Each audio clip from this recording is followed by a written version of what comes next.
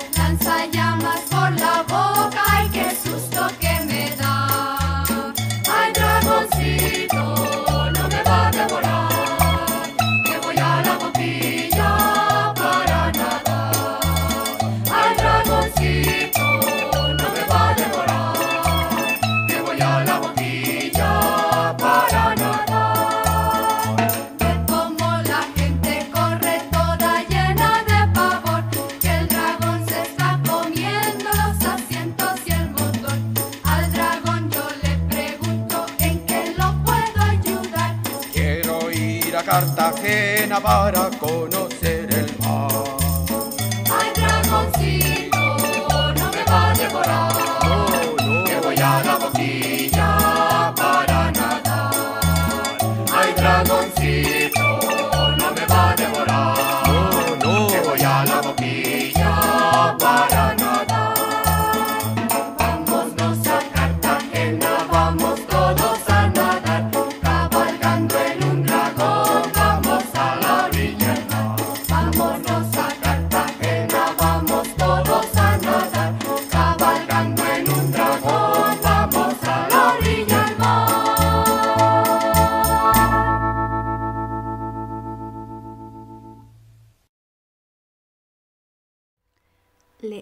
Estas palabras. A ver, vemos con las imágenes y comenzamos. La primera imagen es padre. Segunda imagen hacia abajo, ladrillo.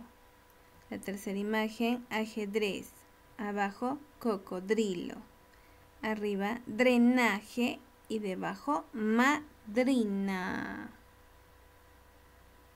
Perfecto. Ahora tenemos, observa la imagen, catedral. Dragón almendra, cátedras, cuadras, ¿dónde guardan los caballitos? Cuadrado. Muy bien. Dra, dra, dra, dra, dra, dra.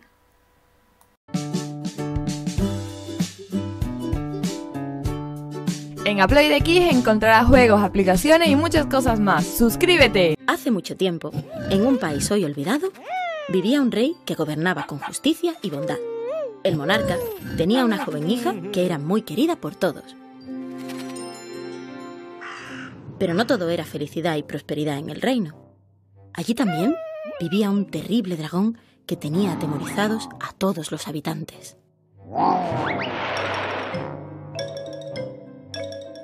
Era un dragón enorme. Tenía unas grandes garras y unos dientes gigantescos, además de un aliento mortal.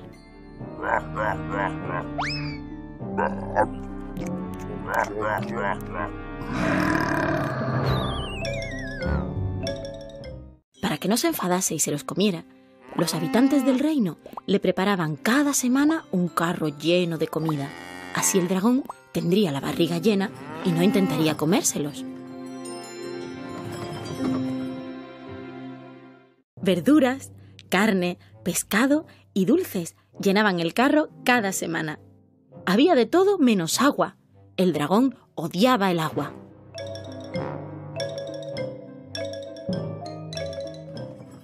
En aquel reino también vivía un muchacho llamado Jorge.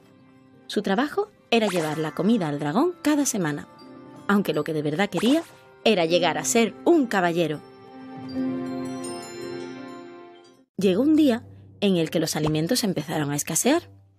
Cuando el dragón vio que el carro no llegaba lleno, amenazó con comerse a todas las doncellas del reino, incluida la princesa. Muy asustado, el rey ofreció una gran recompensa al caballero que lograra acabar con la temible bestia y salvar la vida de su hija. Valerosos caballeros llegaron de todos los rincones del reino. Intentaron vencer al dragón, pero uno a uno fueron derrotados. Cuando no quedaba ningún caballero que enfrentarse al dragón, Jorge pidió audiencia al rey y se ofreció voluntario. Tenía una gran idea. Todos se burlaron del muchacho porque era muy pequeño y débil, pero el rey estaba tan desesperado que aceptó su oferta. Jorge, con gran decisión, se dirigió hacia la guarida del dragón. Este, al verlo llegar, soltó una gran carcajada. No me durará ni un segundo, pensó el dragón.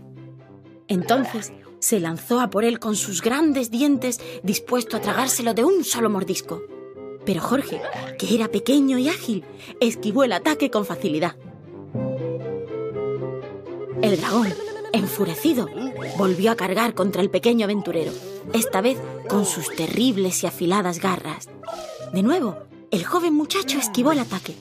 Era demasiado pequeño para el enorme dragón. La bestia se preparaba para lanzarle su ataque más poderoso, un chorro de fuego directo desde su estómago. El dragón abrió su boca para tomar aire. Y justo cuando más abierta estaba, Jorge aprovechó para lanzar un chorro de agua al interior del dragón. El dragón odiaba el agua. El agua apagó todo el fuego del interior del dragón, que salió despavorido para no volver a molestar a los habitantes del reino. Todos celebraron la victoria del pequeño muchacho. Al fin se habían librado del dragón. En reconocimiento, el rey nombró a Jorge caballero real de la corte. De esta forma, Jorge demostró que con astucia e inteligencia puedes conseguir muchas más cosas que con mera fuerza.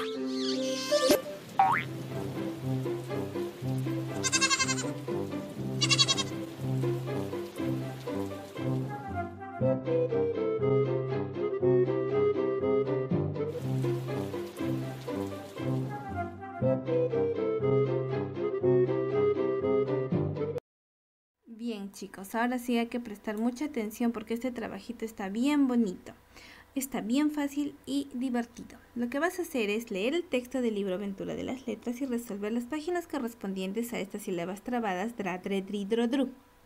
Luego vas a transcribir las palabras indicadas en el cuaderno y reproducirlas. Como mis, vas a buscar todas las palabritas que están en tu libro. Recuerda que siempre están remarcadas con color rojo. Muy bien. Y las vas a escribir en tu cuadernito. Luego vas a crear un cuento para el título Un dragón en Navidad. ¡Ah! Claro, como ya está cerca la Navidad y estamos trabajando el personaje principal de esta sílabas es el dragón. Entonces vas a crear, vas a crear un cuento de un dragón en Navidad. Vas a escribirlo, vas a dibujarlo y luego vas a leerlo. Entonces, recuerda, te pueden ayudar tus papitos a crear un poco el cuento. Sí, no debe ser muy largo, pero tampoco muy cortito. Lo escribes, lo dibujas, dibujas al personaje, al dragoncito en la Navidad y luego lo vas a leer. Todo esto lo van a grabar, tus papitos lo van a grabar y le van a tomar fotos en todo el proceso de cómo estás escribiéndolo, dibujándolo, coloreándolo, pintándolo, no sé, tú vas a usar mucha creatividad aquí y vas a enviar las fotos y el video del cuento creado, no de la lectura de aventura de las letras. No, ahora vamos a empezar a crear. Entonces hemos empezado con el con la dr, ¿por qué? Porque hay un dragón. Entonces este dragoncito nos va a ayudar en la historia de la Navidad. ¿Está bien?